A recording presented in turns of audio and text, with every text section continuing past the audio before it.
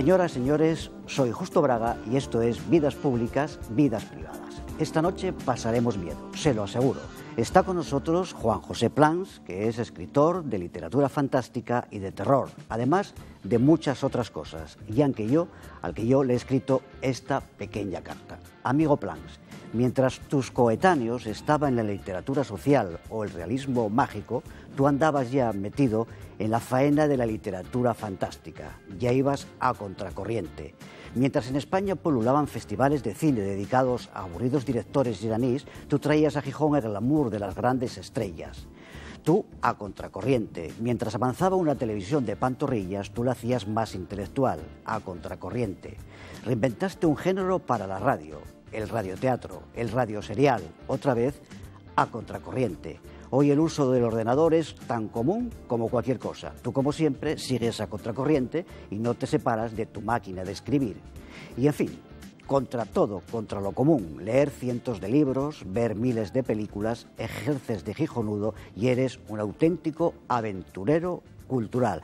Muy buenas noches y bienvenido a este programa, Juan José. Buenas noches. Efectivamente, estás a contracorriente de casi todo, ¿no? Siempre has estado a contracorriente. Sí, pero debe ser porque yo no lo, no lo he buscado. Lo que pasa es que algunas veces la realidad, pues, digamos, no es que me aburra, pero hay que superarla y buscar nuevos derroteros para, bueno, para efectivamente pasárselo un poco mejor uno mismo ya solo en la vida. Y yo he ido por esos sitios. ¿Y a ti qué te da más miedo, los fantasmas, los monstruos o la especie humana, los hombres? Bueno, me da mucho más miedo nosotros, eso está claro. ¿no? Los otros, bueno, pues son unos pobres monstruos que además ahora ya están integrados totalmente, digamos, en la cultura hasta infantil y juvenil, como se ve en estos días con el propio Halloween, etcétera. Y esto no da miedo, porque pensar que la criatura Frankenstein pues la puede, la puede atropellar un coche en un semáforo, un poco cabe despistada, el hombre lobo por ahí por las montañas, pues no tiene mucho que hacer ya. Eh, pero en cambio nosotros a mí sí me da mucho miedo mm, por las consecuencias que tenemos mm, para el planeta y para nosotros mismos y por eso escribí en su día el juego de los niños que efectivamente pues es una denuncia de, de nuestra forma de actuar. Y a mí sí que me da terror y es lo que me asusta en la vida el ver cómo además lo reconozco somos casi todos cobardes no como al día se mueren miles de niños eh, hay guerras etcétera etcétera y muchas veces lo único que hacemos es mirar para otra, para otra parte. El juego de los niños, luego reconvertido en una película, ¿verdad? Que hizo Chicho, sí, eh, se llamaba ¿Quién puede matar a un niño? Y ahora han hecho otra nueva versión en México que lleva el título Juego de los niños, eso sí, el título homónimo también, como la novela. Y, bueno, ahí está una filosofía, una filosofía que es la que tú me estabas preguntando. ¿no? Bueno, luego hablaremos de todas esas cosas, de cine, de más literatura, pero seguimos en tu infancia. Eh, cuando tú eras pequeño, ¿te daba miedo el hombre del saco? ¿Era la costumbre o había otros personajes que eran más pavorosos? No, había, mm, digamos, entonces en las casas aquí en Asturias, que es un lugar adecuado para, para que uno se inspire en cuanto a la neblina, la oscuridad, el frío. Yo me acuerdo los cuentos que siempre contaban las abuelas, ¿no? De, entonces, que siempre estaban un poco relacionados con, los muertos familiares, con los sucesos estos extraños que ocurrían, y eso te tenía auténticamente cautivado en, la vida, ¿no? Y eso fue un buen motivo de inspiración, sobre todo este mundo mágico que hemos ido creando de nuestra mitología, mucha celta, pero del trasu, de, en fin, de todos nuestros personajes, el busgoso, pues a mí siempre fue, me llamó mucho la atención el busgoso, hasta tal punto que cuando hice, digamos, una nueva versión de La Bella y la Bestia desarrollada aquí en Asturias, pues el busgoso tiene un papel fundamental cuidando la naturaleza, cuidando los bosques, ¿no? Y, entonces a mí sí, en aquella época yo creo que fui muy rico en esos, en esos miedos miedos naturales de los niños y que algunas veces pues algún compañero te hacía pasar más miedo con alguna travesura o tú a él. hoy que tienes ya tienes nietos, eh, ¿Les cuentas historietas de terror a tus nietos o no? ¿O las evitas? Hombre, no, es que, es, que me las cuentan a mí. Ahora ¿Ah, ya es otra generación. Esta generación ya ha superado con creces y yo creo que, que muy bien todo lo que significa la realidad y la fantasía. Y, por ejemplo, mis nietos más pequeños de seis años, pues se ven una película de terror y, la están viendo con la conciencia de que es mentira para ellos. Dicen, no, esto es una película, esto no es nada más, me, entretengo con esto y se acabó. Por lo tanto, saben lo que yo siempre he dicho, el miedo es una cosa sanísima, pues aquello que es una llamada de alerta, es la llamada de alerta que tenemos nosotros ante algo, ante algo que es una amenaza, entonces nos hace estar, bueno, alertas ante ello. Entonces el miedo también se puede disfrutar, porque es el miedo contrario al que te estaba diciendo. Si tú tienes mucho miedo en una película, pues te vas. Si estás leyendo, cierras el libro. Televisión la apagas. Pero ¿cómo apagas el miedo de ver esas escenas mm. terribles de en los una guerra ¿no?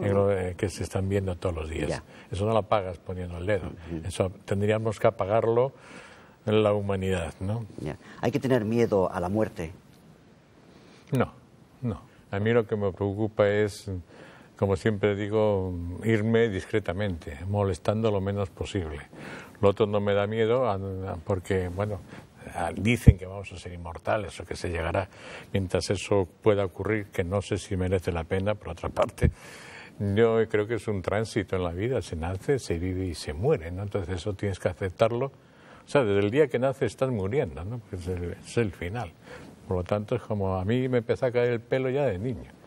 ¿Eh? Entonces, bueno, todavía conservan algunos, yo los cuento. Dice, hombre, hoy me cayó el 3412. ¿no? Bueno, hay que asumir estas cosas en realidad y hay que asumir la muerte. Aunque indudablemente nos fastidiaría en ciertos momentos, en otros momentos a lo mejor se desea, pero en otros momentos nos puede fastidiar mucho. ¿Y a la enfermedad, al sufrimiento físico?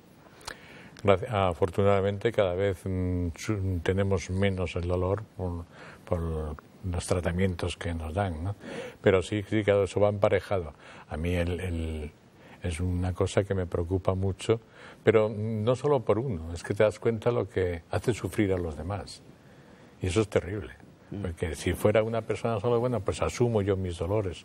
Pero es que cuando tú, los seres queridos que tienes alrededor, pues también están sufriendo contigo. Sobre todo porque encima sientes o sienten, en caso de uno, sino en caso tú respeto a los demás, eso que es la impotencia de no poder hacer nada para sacarte de ese estado que indudablemente eh, no nadie desea, ¿no? Mm.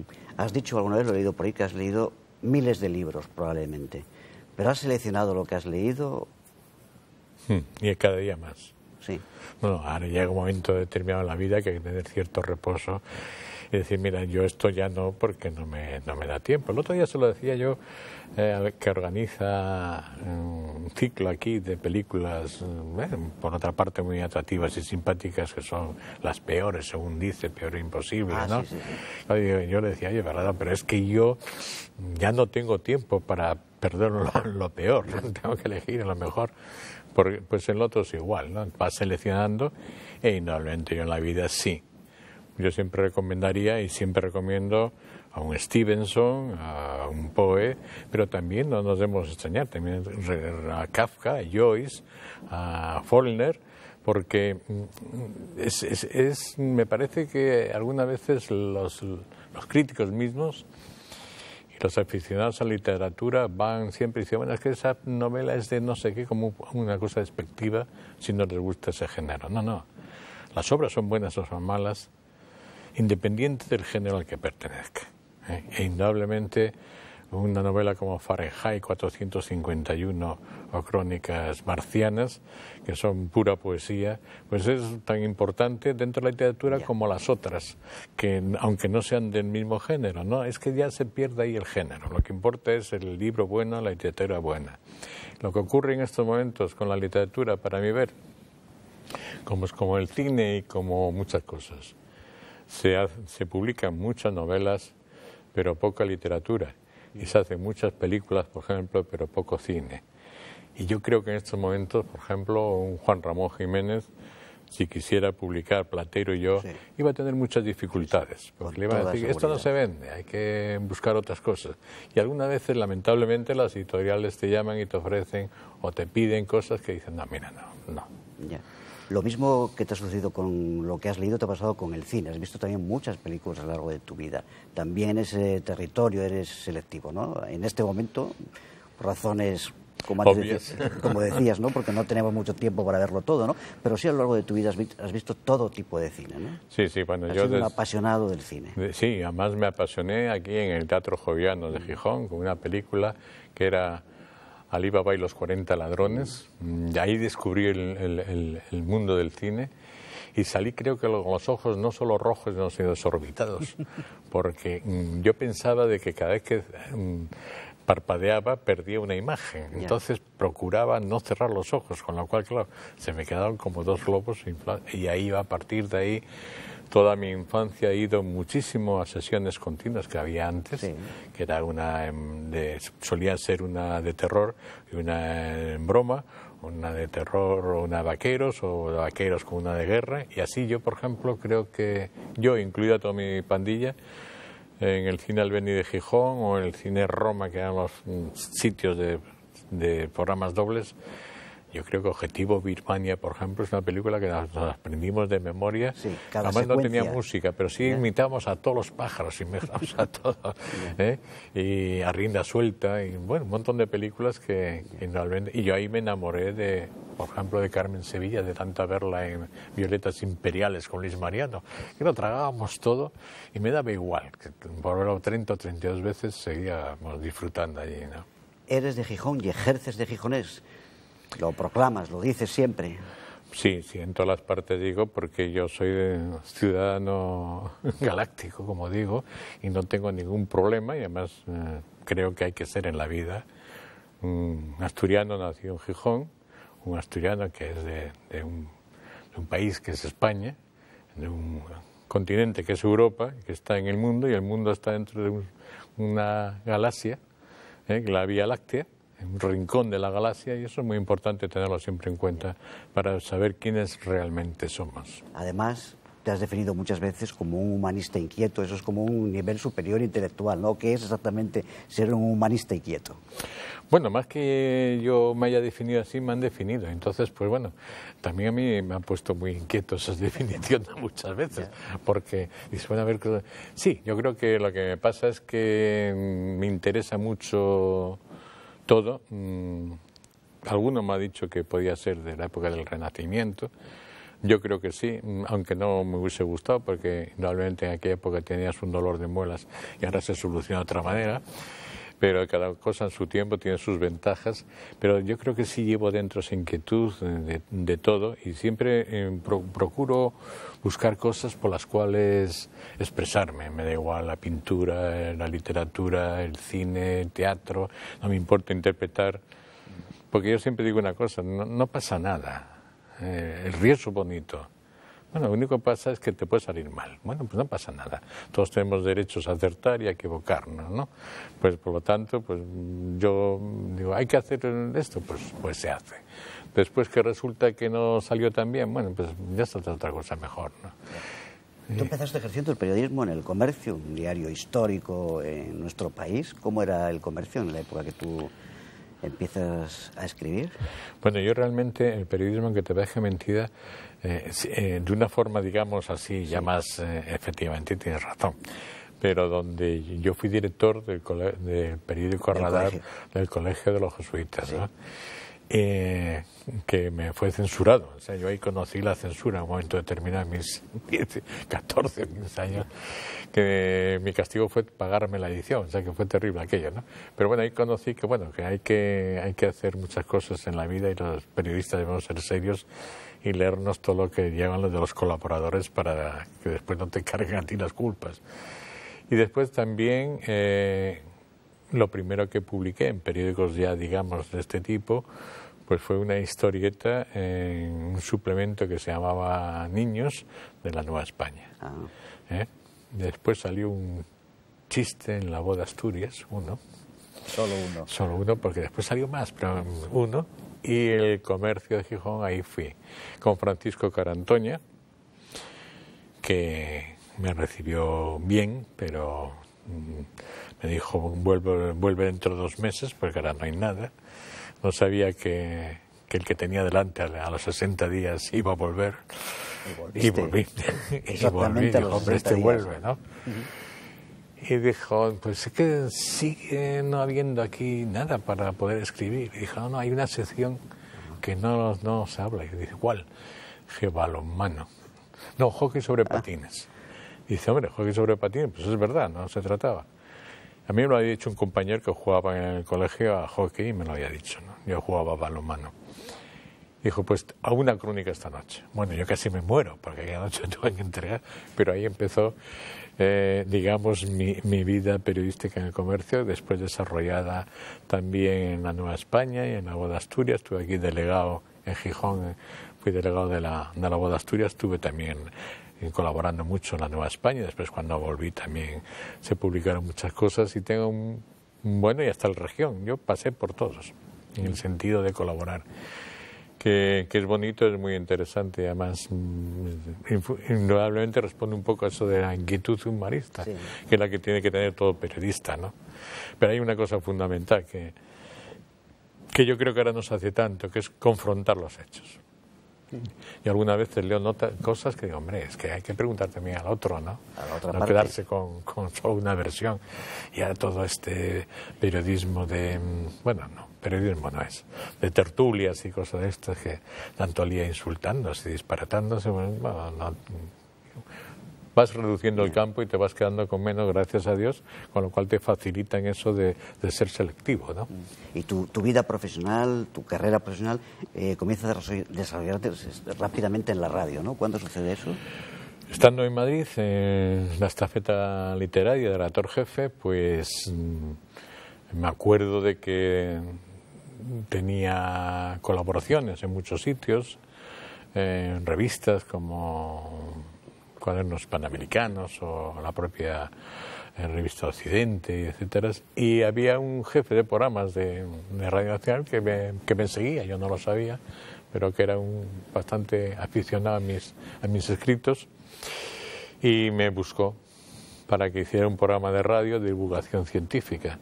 No tenía yo ni idea de radio, pero enseguida cogí el tranquillo y eso fue en el 69, bueno, y hasta del infinito y más allá, ¿no? Y después, anecdóticamente, yo siempre he estado escribiendo, dirigiendo, hasta que en la última parte de, digamos, de mis trabajos en radio, siempre lo hice en Radio Nacional, que es una forma de tener que estar pendiente si hay publicidad más o menos, o si la cuota pantalla o en radio son los oyentes tantos cuantos, ¿no? Y fue Diego Carcedo, el asturiano Diego Carcedo, mm. estaba director. Dijo, hombre, ¿por qué no vuelves y haces un programa de, los tuyos que te gustan?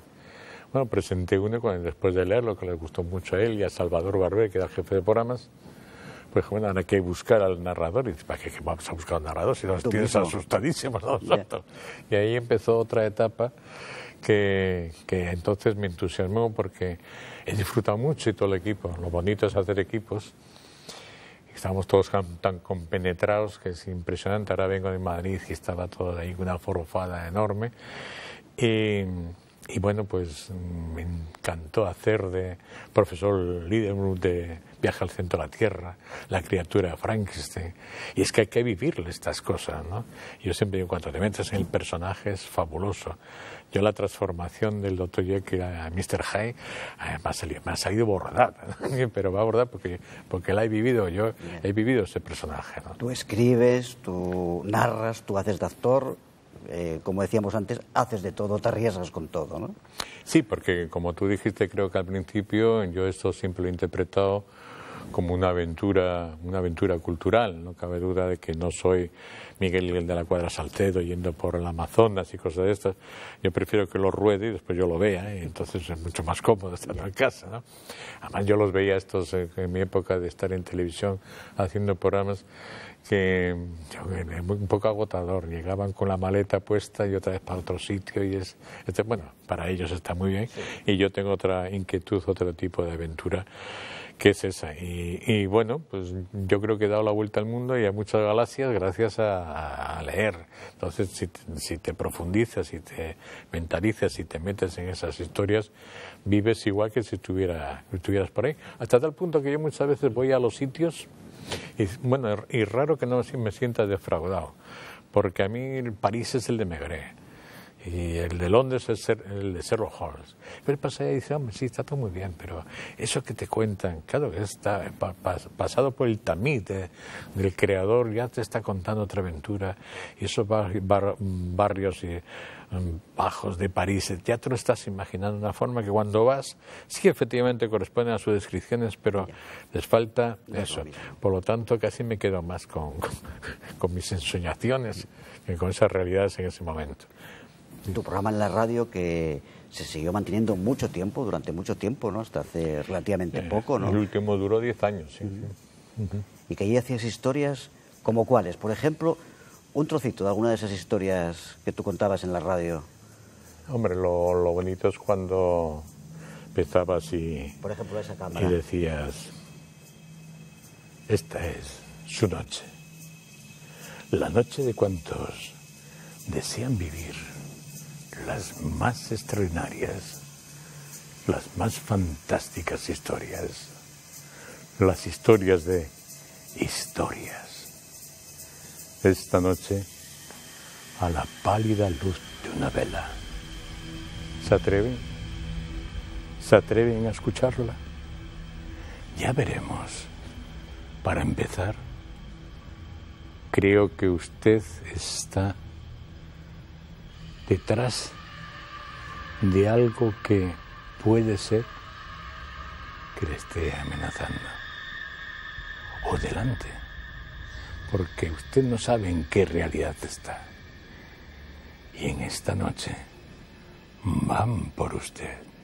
Bueno, todo es un fruto de una auténtica improvisación la que hemos hecho en este momento aquí, pero está muy bien, efectivamente. El paisaje asturiano hay fruto naturalmente en que tú hayas hecho este tipo de literatura, ¿no? Sí, sí, yo siempre lo digo, es un sitio privilegiado. Realmente tenemos un rincón del planeta, yo creo que privilegiado mientras no lo estropeemos, ¿no? Ya.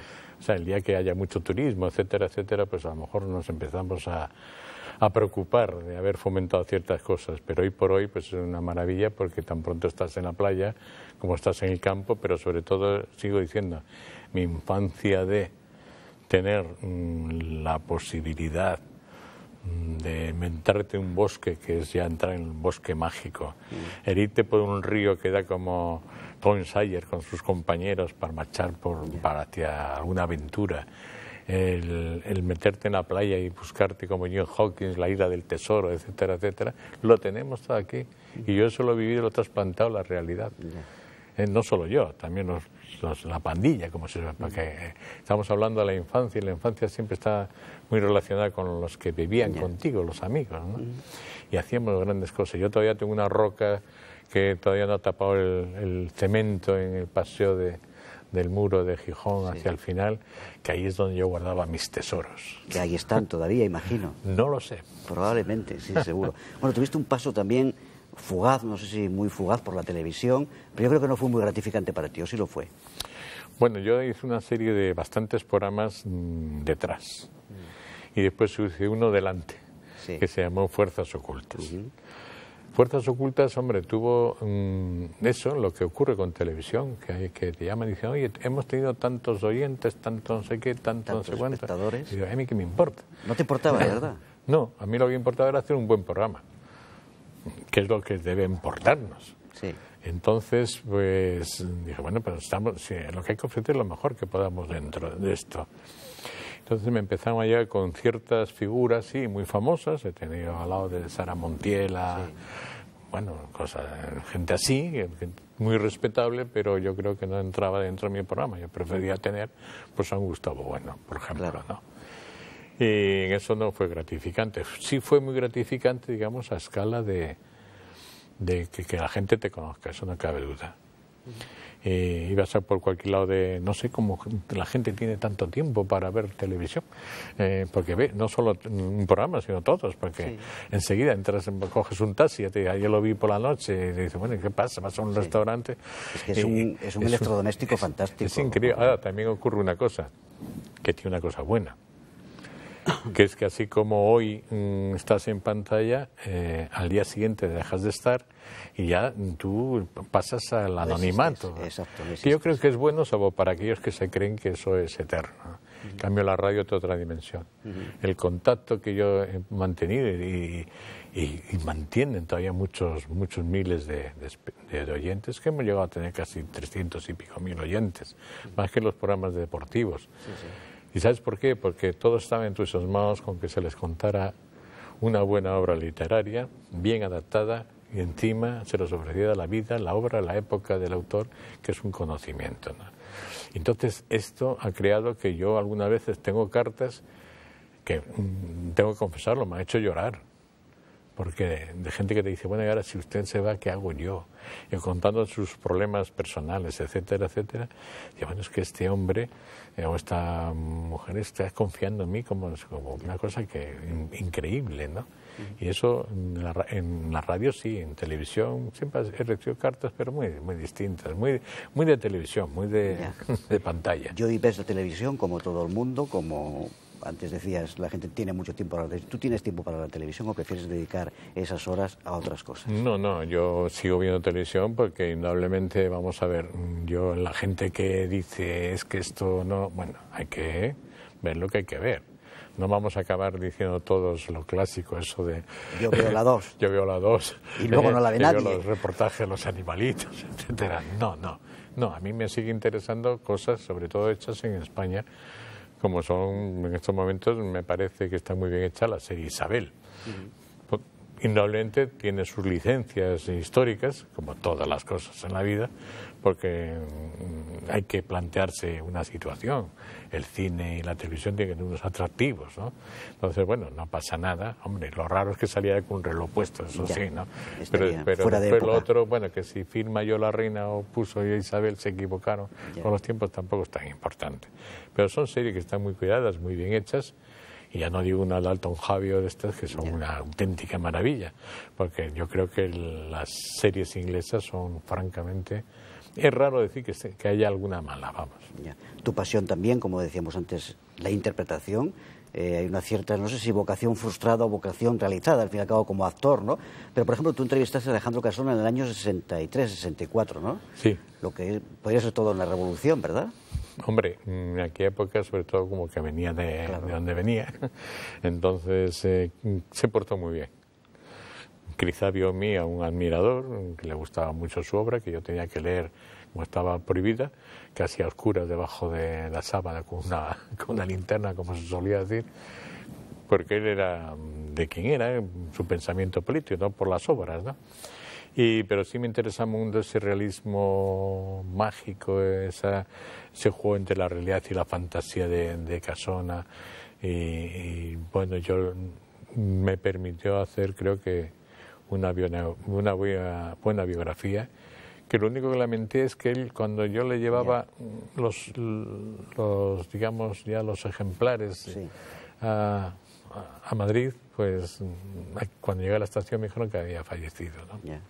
Bueno, decía vocación frustrada de actor o no, o has tenido ah, no, no, no, tanto, pero sí me, me sí me gusta jugar a ello cuando me lo piden lo hago.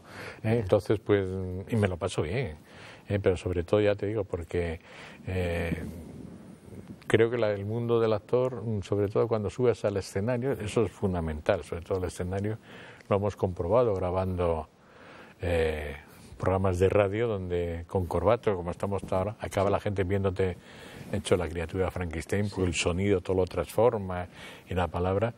Bueno, pues ese contacto que de repente yo he notado que los actores dijeron, miren, ya, ya os entiendo ahora porque el teatro es lo fundamental, porque recibes el calor. Sí, sí, además es inmediato. Por frío, pero es inmediato, y, único, ¿no? Entonces, cuando estás arriba es que te llega algo, no sé Y eso te, hace ir creciendo, lo ves que se, se crecen en su interpretación, ¿no? Y eso es, eso es maravilloso. ¿Y por qué vas a renunciar a, pasar unos momentos tan bonitos en la vida, ¿no? Efectivamente. Donde escribes, en tu casa, en tu apartamento, en tu estudio, interpretabas también estas, estas narraciones, ¿no? Las interpretabas de una manera tan realista que algunos vecinos se sorprendían, ¿no? Me han contado. Mm, no. Eso es leyenda, urbana. Pero sí interpretas, ¿no? Escribes con tu máquina de escribir y luego lo interpretas. Eso sí, eh, los vecinos han dicho, ya está Plans escribiendo porque soy ta, ta, ta, Claro, con el ordenador no soy nada. Pero no, normalmente me gusta, digamos, improvisar en, las, en las actuaciones. Sí. Y, y, hombre, alguna vez sí he ensayado pero no tanto como se, se puede suponer. Sí he metido mucho más ruido a los vecinos, se sigo metiendo con la máquina de escribir. Sí, la Olivetti, letra 32. Sí, es tu instrumento de escritura de siempre, de toda tu vida, no has tenido otras. Cuando fumaba, ha fumado conmigo, ha tosido conmigo, eh, me he pringado las manos, y después tiene esa cosa maravillosa de, de, tener ruido, ¿no? de una cosa viva. ¿no? ¿Y eres disciplinado en el oficio de escribir? Es decir, ¿te marcas un horario o escribes cuando hay que escribir o no? No, cada día soy más desastre en eso. Yo ahora creo que mm, sí, hay un momento determinado que te lo tienes que poner, a imponer en la vida porque tienes un, digamos, es tu forma de, de, vivir, de, subsistir, tú y toda tu familia, que los míos no son pocos. Entonces, pues, ¿qué te ocurre? Tienes que marcarte. Y eso es lo bueno que, o lo malo porque en la vida, cuando tienes que ir a una, empresa a trabajar, un horario vale, pero en esto que tienes, tienes que poner tú es duro, porque mm. tú mismo eres tu director y, tu, y todo, todo. Y yo sí, sí, una época que fui muy disciplinado, claro, como, como todos. Y ahora me lo tomo un poco más, con más libertad y con más derecho a espaciarme los trabajos porque llega un momento en que dices, bueno, tampoco pasa nada, yo ya, yo ya hice mucho, ya dejo mucho atrás, yo ya cumplí en la vida, ¿no? Ya tuve niños, planté árboles, escribí libros, etcétera. Bueno, pues ahora me gusta también ver el paisaje y quedarme un poco, no, no de, digamos, eh, de pensador de viendo el paisaje solo, sino porque el paisaje hay que, que tiene que enriquecer por dentro, ¿no? Y, y un creador, sea cual sea, un escritor, un pintor, necesita su tiempo, aislarse, o todo lo contrario, estar en contacto con lo que pasa, con las gentes? No, no, yo creo que, es fundamental estar en contacto con la gente porque entre todo eres persona. Y no somos Robinson Crusoe. Ahora, yo mm, disfruto tanto de una cosa como de otra. A mí me gusta mucho. Yo me hago unos 15 kilómetros al día. Caminando. Eh, caminando, eh, dándome grandes paseos. Eh, en Gijón, sigo haciendo publicidad. Gijón es una ciudad ¿eh? que, es maravillosa para pasear, puesto que pocas puestas tiene. Entonces, pues, mm, por un lado vas pensando, vas disfrutando de la maravilla de, un, yo qué sé, de las gaviotas mismas en, en, la playa, que un día está la marea alta, otra, otra baja. es que todos los días es cambiante todos los paisajes. ¿no? Y me gusta mucho subir a la Providencia, al Cabo de San Lorenzo, ahí cerca de la isla de la Tortuga, donde en mi novela Gran Ritual he colocado el cuélebre, que está, está allí protegiendo algo muy, muy importante, y me pongo a leer. Entonces ahí oyes el mar, las gaviotas, eso serena muchísimo, te, da, te inspira, salvo cuando alguna vez te llega alguien con una furgoneta, un coche al lado, y te pone, pues no, se llama Manolo Escobar con mi carro, que entonces está jorobado el paisaje, pero bueno, también eso pertenece a, nuestra forma de vivir. Y disfruto eso y disfruto el otro con los amigos. Eh, me encanta charlar eh, y disfrutar de las buenas compañías y, bueno, sobre todo tener contacto con la gente que es fundamental. Ya te digo, no solo para el escritor ni para el creador, porque no solo pues por crear, mm. sino es para vivir como persona.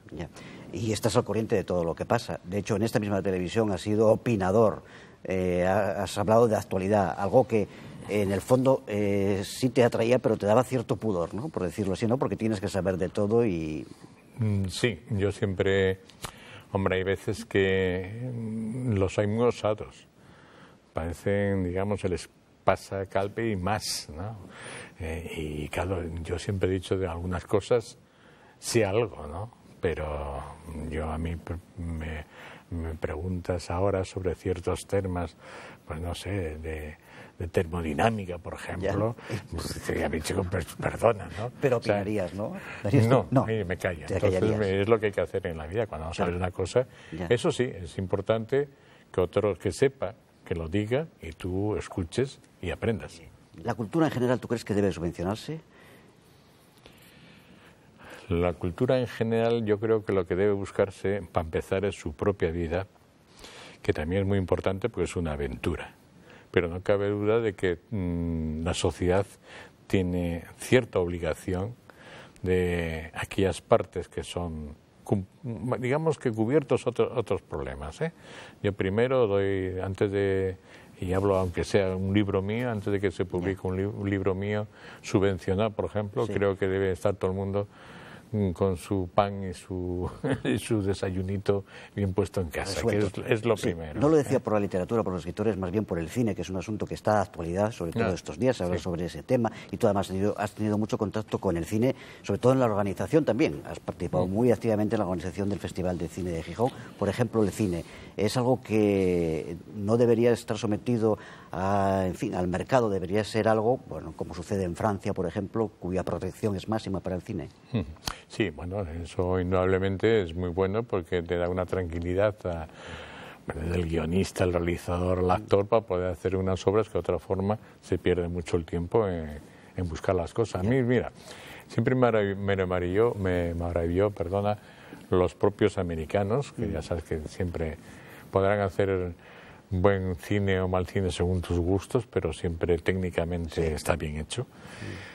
Que el autor de, una, de, un guion de una película bueno, tan corriente como Terremoto, pues que iba a hacer Mario Pucho, pero después no la quiso hacer y la, le hizo el otro que no me acuerdo ahora, pues a este otro le ofrecieron durante el tiempo que él escribía que no se preocupara ni del colegio de los niños, ni de, la luz, ni de, la factura, de nada, nada, dónde quería vivir, en qué parte de Estados Unidos, y ahí lo llevaron con toda su familia y esto, la productora estuvo pagando todos sus cositas, les estuvo escribiendo tranquila y relajadamente, porque tenía su cerebro eh, puesto en lo que tenía que tener, en, tenerlo. Bueno, pues esto que en el fondo no deja de ser el espíritu de una subvención, eh, en el sentido de que si te facilitan al creador las cosas, pero siempre y cuando, yo siempre digo que también no nos pasemos exigiendo, ¿no? porque ya algunas veces yo creo que se ha llegado a unos estamentos de decir, bueno, hombre, chico, pero también búscate un poco, un poquitín tú también la vida, ¿no? No, no lo quieras todo tan regalado, de decir, bueno, si usted me la paga, una película, si usted me lo paga, escribo, y si no, no escribo. No, hombre, por lo menos escribe, escribe el guion y después vamos a buscarnos toda la vida, a ver si el guion es bueno o no. Pero es, es muy importante, y además la sociedad debe colaborar con, con la cultura eh, porque si no, vamos, es como lo de la enseñanza. ¿eh? La enseñanza y la cultura son fundamentales. Un pueblo va hacia adelante por medio de la educación, ¿eh? por medio de la cultura mm, y por medio de una buena salud. Si no hay estas cosas, pues ese pueblo no, no, progresa adecuadamente, como dicen ahora, ¿no? ¿Cómo recuerdas tu etapa en el Festival de Cine de Gijón? Bien, muy bien, muy interesante y muy bonita. Yo supongo que se tuvo algún acierto, ¿no? ¿Eh? Y fue una época donde, bueno, se procuraba, ya sabes que todo depende mucho de la época en que estás, y en aquella época pues interesaba mucho que vinieran figuras en, el mundo del glamour. ¿eh? ¿no? Jacqueline Bisset, Jacqueline Bisset. el Capitán Furilo, famoso por aquella serie de televisión. Pasaron todos, Almodóvar, eh, Juan Echanove, eh, Tony Franciosa, pero y bueno, no, no se pudo tener más porque también costaba un dinero, ¿no? Pero, pero bueno, Jack Palance, por ejemplo, mm. para mí que era, un, era una persona que en su día me aterró y me lo hizo pasar muy bien con raíces profundas, ahí todo vestido negro, de malo, disparando y todo eso, o pánico en las calles, como perverso. Pues lo tuve al lado, casi me estruja en la, en la, butaca. porque era tan grande, pero yo estaba al lado de él y pero bueno, no fue por eso. Yo creo que se trajeron buenas películas, buena gente, y si cumplió una etapa y otra etapa, a lo mejor pues no, no exigen o no se piensa tanto en esas, pues todas están bien. ¿eh? Cada cosa tiene su momento. ¿Y cómo ha evolucionado el festival en estos años? En los últimos ha estado ciertamente convulsionado, ¿no? No sé si está superada esa etapa, porque además Eh, tú has tenido relación con el anterior director del festival y con el actual, ¿no? La tienes. Y buena con ambos, ¿no? Hombre, yo creo que sí. Bueno, ¿cómo ha evolucionado el festival en estos últimos años? ¿Cómo lo has visto? Yo, yo creo que siempre se ha ido hacia el cine, ese que un poco al cine independiente, el cine que motiva a una juventud y en un momento determinado, al principio eran, cuando las primeras etapas del festival eran los niños, la infancia, pero bueno, ahora ya sí, se siguió haciendo como la propia sociedad otro tipo de cine y yo creo que se ha llevado mm, bien. Yo, cuando algunas veces vienen estos motivos de discusión, yo creo que no, yo creo que eh, al hablar de etapas para mí es muy molesto y de épocas. Yo que considero que ha sido un eslabón tras otro eslabón. Yo siempre digo, mira, Severo Ochoa fue premio Nobel descubrió el ADN, pero es que antes otros trabajaron sobre ello y una vez descubierto lo de Severo Ochoa, otros trabajan sobre lo que él descubrió y todo esto sigue así. Y no se ha ido hacia abajo, se ha ido hacia arriba. Y yo creo que el Festival de Cine ha tenido esa progresión de ir al tiempo de la sociedad en que se vive. Claro, porque ahora es muy distinto. Como estábamos antes al principio, mis nietos no son, no tienen la misma mentalidad que yo a mi edad. Esto ya nacen con el euro en la cabeza, ya llaman con todas las maquinitas. Y cuando tienes un problema, yo llamo a mis nietos y digo, oye, por favor, me enchufas y hombre, abuelo, por Dios, paz, paz, paz, paz, y lo hacen, porque está dentro de su cultura. Yo tengo que aprenderlo, pero ellos no hacen así. Y todo gira de la misma manera. No entenderían el mundo de otro modo. Claro. Y entonces el festival, pues, está en una progresión como, como la propia sociedad. ¿Y vas al cine, a las salas, o te has hecho más cómodo y ya disfrutas más de cine en tu casa, en el sillón, en el sofá? No me he vuelto más cómodo, eso no cabe duda. Pero también hay una razón especial. Eh, el cine eh, antes era un mundo donde tenías eh, el clásico documental antes, ya no hablo del nodo en su día, ¿eh? venía aquel descansito maravilloso para tomarte un cafetito por medio. Después nuestro ambigú, ¿no? Es el ambigú, sí, sí, sobre todo en la sesión Bermud. Exacto, sí, sí. y después tenías esa cosa que a lo mejor te caía en suerte, que te dieran unos dibujos animados de Tom y Jerry, algo así, después venía la película. Y yo siempre aquello era un mundo fabuloso. Entrabas en la pantalla y de repente era bum, brum, brum, Warner todo aquello, Metro Golimaya, era una maravilla, los cines, todo el ambiente. Es que ahora mm, no es el mismo ambiente. Pasas por entre, no sé, entre palomitas, entre olor a pizza, a hamburguesas, a no sé cuánto. Y cuando llegas a la película ya, se te han caído los rulos, como dicen las mujeres. Es decir, no, no es lo mismo, pero las salas siguen siendo bien y ojalá se, volviera a ir al cine como, como se iba antes, ¿no? Que era todo un atractivo, además. Toda una ceremonia. claro, giraba todo y al cine pues era, bueno, una se cosa... Se compraban las entradas por la mañana para ir a la sesión de la tarde, por ejemplo, ¿no? Se veían las carteleras, ¿no? Aquí hasta tal punto que fuera de tú que había sitios que, que decían que estaban lejos, como los Campos Elíseos en Gijón, que estaba a nada pero había una taquilla en la que hay corrida para que no fueras hasta los campos para poder comprar ahí las entradas de los campos elíseos, que era un cine maravilloso, tipo circo. ¿eh? Y, y todo eso, pues, mm, bueno, ya es un ambiente que, indudablemente dices, no es nostalgia, pues no, porque no se debe tener esta tanta nostalgia del pasado. Hay que siempre mirar hacia el futuro, que es lo que nos queda, ¿no? No nos podemos estancar. Dice, no, es bueno recordar lo bueno, aprender de lo bueno y de lo malo, pero nuestra mirada tiene que estar en lo que viene, en lo que vamos a hacer. Y yo confío que el cine o las formas de presentar el cine llega un momento que también tengan estos atractivos. Lo que pasa que finalmente también si en casa te ponen ya unos buenos pantallones a precio bastante económico, empiezan las tres dimensiones, y etcétera, etcétera. Y no nos olvidemos, vivimos en ciudades prácticamente tranquilas. Ahora tú vives en Nueva York, en Dallas, en sitios de esos que para moverte, ir a un cine que no sea el de tu casa, de tu barrio al lado, las cosas se ponen mucho más difíciles, ¿no? Bueno, ¿y en qué aventuras, como decíamos al principio, literarias, culturales, en qué estás en este momento? En esto creo que una aventura muy importante que es la de presidente del Foro Jovianos del Principado de Asturias, que bueno es, apoyar y trabajar en la época que me corresponda a favor del conocimiento de la vida, obra y, seguir el ejemplo de, Jovellanos.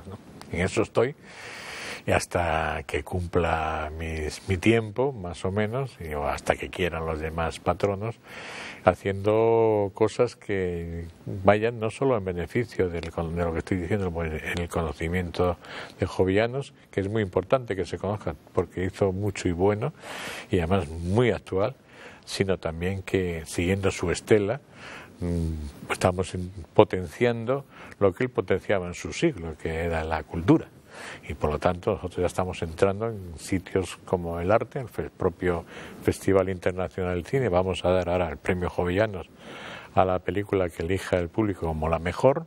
Y ya, en fin, cosas de estas, o llevamos la voz de Jovellanos, vamos a empezar a llevarla por toda Asturias, empezando por Belmonte Miranda, donde vamos con una selección de textos comprensibles para todos, atractivos para todos. No se trata de, leer a la gente de repente el informe sobre la ley agraria, que no es, sino pero aquello que interesa y tal, sí, es importante. Y en esa aventura estamos, que también es apasionante. Y ¿eh? escribiendo, imagino. Y, sí, escribiendo, sí, sí, gracias. Y tengo una. Bueno, ya, ya saldrá. Pero vale más no contar los argumentos, porque yo me pasa que algunas veces si cuento la historia ya la conté. Entonces me ha pasado que no me he vuelto a ella. Bueno, pues ha sido muy gratificante todos estos minutos y tendríamos para muchos minutos más de charla con Juan José Plans. Yo te agradezco mucho que te hayas prestado a esta conversación tranquila, reposada y espero que agradable también para ti. Por supuesto, y muchas gracias por invitarme. Y te pediré una cosa, eh, no estaba previsto, pero te lo pediré parte de, algún otro relato para terminar el programa y yo me quedo con los espectadores y contigo y me cuentas en un minuto y medio alguna otra historia para acabar este programa a tu cámara, como siempre. Mm, sí, recuerdo, por ejemplo, una noche había frío, era una noche de tormenta, la lluvia repiqueteaba en los cristales y algo me despertó a mí, era niño, salí de la habitación en el despacho de, mi padre, que tenía unos cristales eh, biselados, había como una luz que se movía. Y es curioso porque el miedo te, lleva hacia ello, te atrae, porque quieres descubrir, quieres eh, quitarte la preocupación de qué es aquello. Abrí la puerta y, bueno, había una vela esa vela, después, claro, era en aquella época en que para las casitas se llevaban vírgenes que se ponían para que se dieran las iglesias unas moneditas y una vela dejada durante dos o tres días. Bien, podía haber sido eso, pero no fue eso. De repente yo empecé a decir, papá, papá, porque era el despacho de mi padre. No había respuesta. Hasta que vi una forma extraña una silueta donde tenía que estar él sentado en su mesa del despacho. Y hoy no soy tu padre. Me quedé. Papá, por favor, ¿dónde estás? Yo soy el miedo. El miedo que tú estás fabricando. El miedo que estás creando. Yo soy tu propio miedo. Pues pura improvisación, como, hemos hecho durante todo este programa. Así que muchísimas gracias otra vez, Juan José. Y a ustedes hasta el próximo programa. Volveremos a encontrarnos en el mismo lugar y a la misma hora. Muy buenas noches.